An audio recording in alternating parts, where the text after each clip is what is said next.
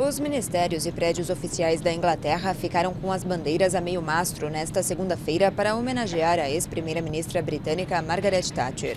Afastada da vida pública há uma década, a Dama de Ferro morreu aos 87 anos em consequência de um derrame cerebral.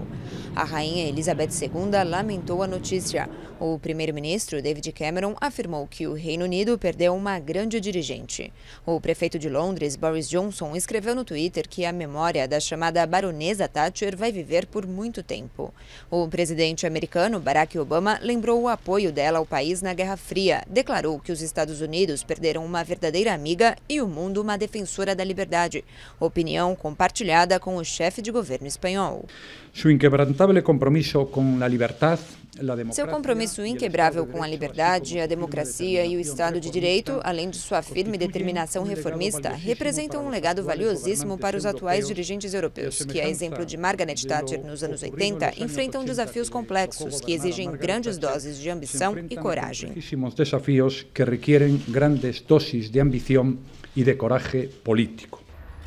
A chanceler alemã Angela Merkel classificou Margaret Thatcher como uma líder extraordinária. A Assembleia Legislativa das Malvinas elogiou a determinação da ex-premier britânica na ofensiva de 82 contra a Argentina e expressou eterno agradecimento.